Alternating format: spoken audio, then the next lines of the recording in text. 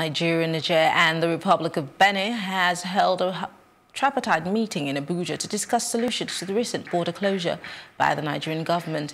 The Minister of Foreign Affairs, Geoffrey Onyeama, while speaking to representatives from the three countries, said the meeting was convened to seek lasting solutions to the issues which caused the Nigerian land border closure most bordering on importation of small arms and light weapons, insecurity and rice, which has been banned since 2016.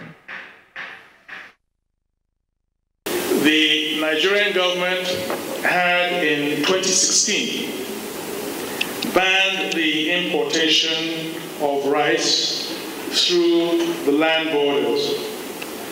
Unfortunately, despite this ban, imported rice continued to flood the Nigerian market at rock bottom prices and um, making it very difficult and uh, for local rice producers.